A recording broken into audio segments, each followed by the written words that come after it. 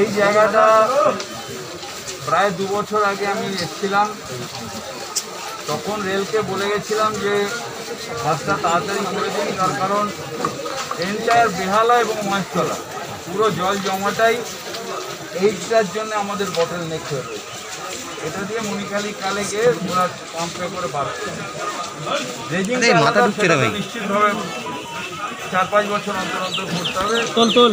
কিন্তু এই জায়গাটা রেলকে ইরিগেশন ডিপার্টমেন্ট দিয়েছিল এই জায়গাটা যদি রেলের জায়গা এখান থেকে মানে ক্যানেলটা বার করার জন্য এর হার্ডেলটা হচ্ছে যে একটা হলো সিপিএম পার্টি আরেকটা হলো যে এখানে একটা লোকাল ডিমান্ড ছিল একটা ব্রিজের সেটা একটা ছোট ব্রিজ করেছে। লোকাল লোকেরা বলছিল একটা। আমি পাঠাবো। পাঠিয়ে আগে ওদের এটা ফাইলটা কি আছে তার কি আছে দেখব। এবং তার চারিপাশে যদি আরেকটা ফাইল করে দিয়ে যদি জিনিসটাকে আরও চওড়া করা যায় তাহলে আমরা করে দেবো। কিন্তু এটার সাথে জল আমি জলের জল যাওয়ার কাজটা করতে দেবো সিপিএম এর যারা বন্ধুরা রয়েছেন তাদের সাথে আলোচনা হলো। তারা রাজি হয়েছেন দুদিন সময় নেবে সিপিএম পার্টি অফিসটাকে কেন এগিয়ে দিয়ে থেকে ক্যামেরার সামনে দরকার আমরা করব।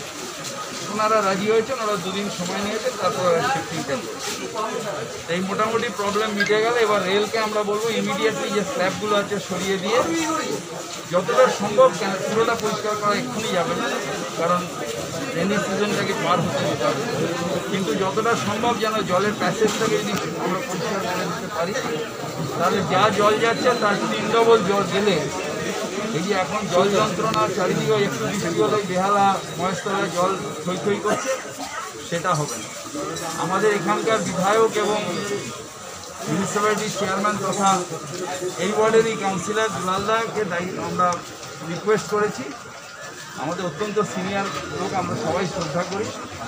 এটা উনি কথা দিয়েছেন যে উনি দাঁড়িয়ে থেকে এই সমস্যার সমাধান করে এটা শীঘ্রই এই কাজটা ত্বরান্বিত আমরা আমরা আমরা কারণ না আর উনিও যেখানে। এটা ওদের পার্টির থেকে ঠিক করে কিন্তু আমরা এই জায়গাটা যেহেতু ক্যানেল ক্যানেলের উপরে তাই ওনারা কথা দিয়েছেন যে আমরা ঠিক করি। ঠিক টাকা বের করে।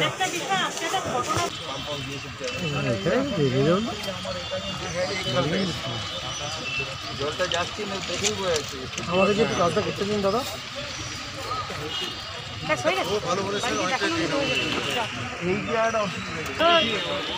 মাস্ক দাদা